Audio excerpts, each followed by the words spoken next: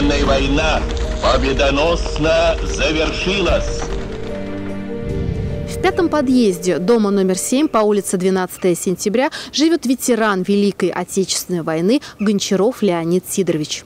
Герой Победы семь с половиной лет провел в армии, из которых три с половиной года отслужил на фронте под бомбежками. Съемочная группа телеканала «Улправда ТВ» пришла в гости к ветерану не с пустыми руками. 1 марта Леонид Сидорович отметит свое 94-летие в кругу большой семьи. Мы поздравили пенсионера с этим замечательным грядущим событием. И в преддверии вашего замечательного праздника, дня рождения, самое главное, мы желаем вам долголетия. Спасибо. Чтобы вы, до, вы дожили до 100 лет победы, и чтобы у вас в семье, вот именно с женой, все было Спасибо. хорошо. Мы вас, мы вас вот поздравляем, небольшой Спасибо. такой подарочек.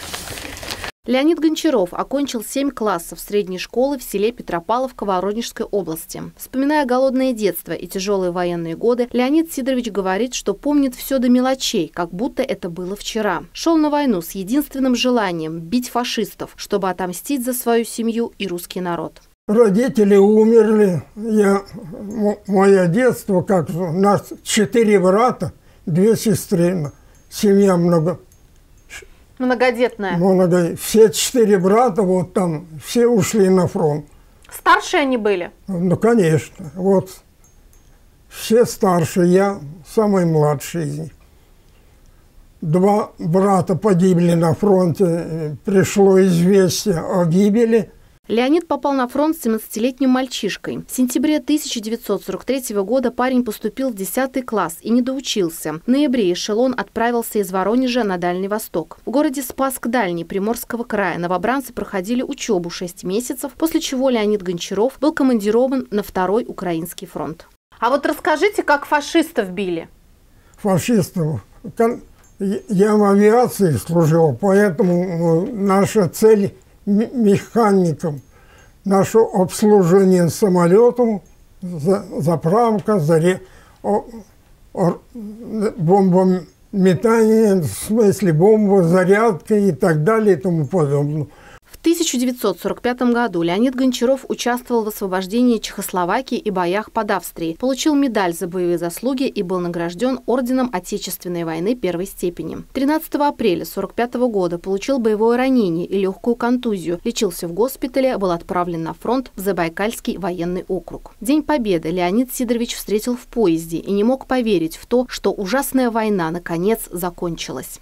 9 мая – это самый дорогой праздник, я считаю, для всего человечества нет. А для, для нас, для воинов, тем более. День Победы я встретил в эшелоне, ехали со второго Украинского фронта на первый Дальневосточный. Это где-то произошло в Сибири.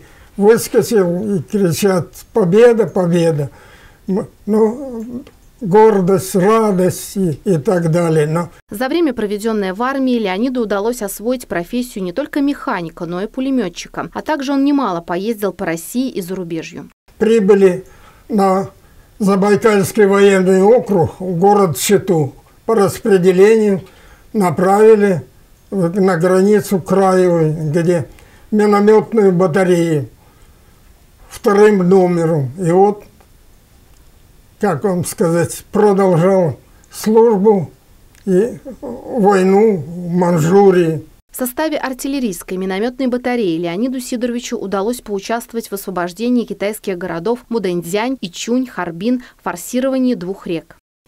После воинская часть оставалась по 46 год в Китае.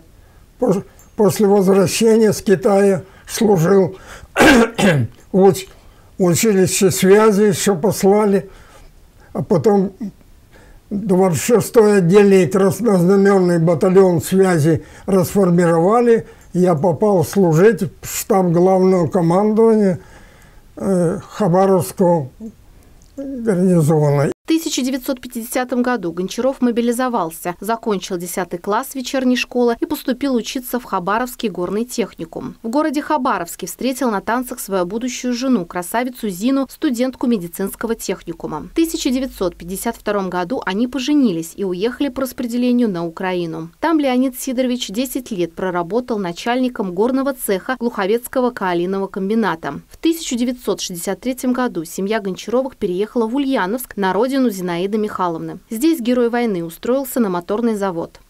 Поступил на моторный завод, работал старшим мастером и начальником диспетчерской службы завода, где э, проработал 35 лет.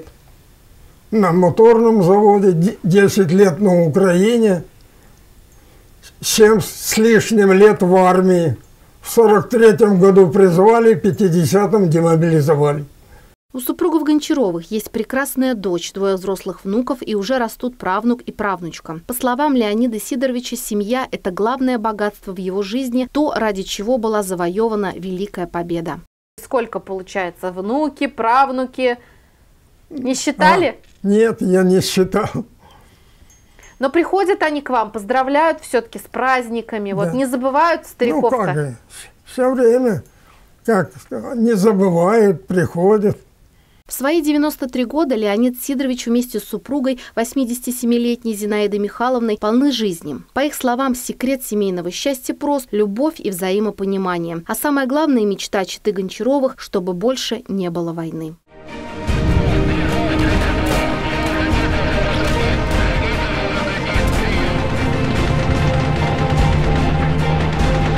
Великая Отечественная война победоносно завершилась.